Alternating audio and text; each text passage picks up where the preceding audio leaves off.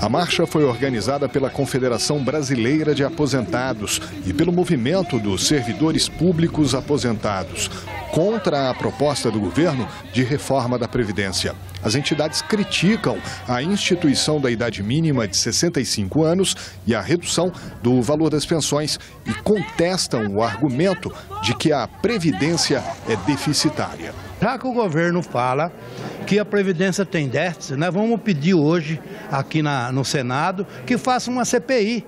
Vamos fazer uma CPI, vamos fazer uma CPI na Previdência para ver quem tem razão, se é o governo ou é o povo. Essa é uma reforma que é para sinalizar para os banqueiros. Em última análise, eles querem extinguir a Previdência Social Pública para que todo mundo eh, possa ingressar ou procure a Previdência Privada. E isso beneficia quem? O capital, os bancos e, e por aí afora.